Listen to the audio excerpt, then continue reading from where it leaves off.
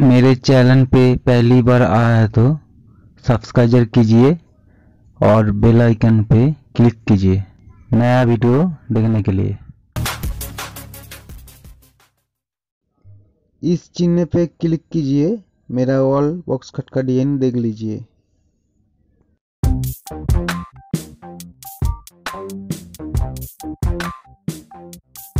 Thank you.